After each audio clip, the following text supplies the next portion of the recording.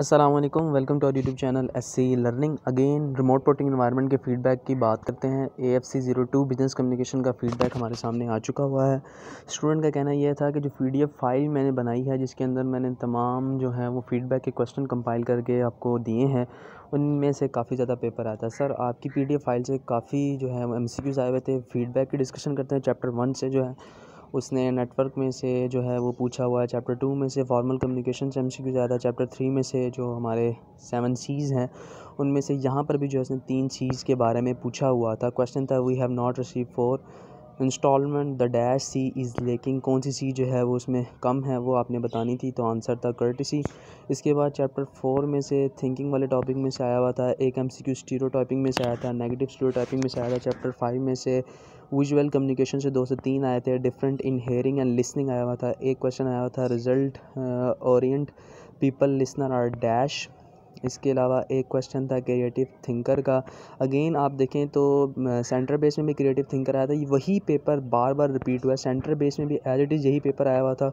और यहाँ remote porting environment में भी यही पेपर जो है वो आया हुआ एक क्वेश्चन था क्रिएटिव थिंकर का, उसके बाद मोस्ट सूटेबल वाला था एक, ठीक है। उसके अलावा गोल्डन रूल था। इसमें था treat other the way you would like to be treated ये था। उसके अलावा चैप्टर सिक्स, सेवन, एट से तीन से चार एम आए थे। चैप्टर नाइन से काफ़ी पेपर आया हुआ था। देख लें, मैं अपनी हर बिज़नेस कम्युनिकेशन की वीडियो में बार बार स्ट्रेस देता आया हूँ कि चैप्टर नाइन पे आप फोकस करें। हर स्टूडेंट फीडबैक के अंदर ये आ रहा है कि चैप्टर नाइन से काफ़ी आया था।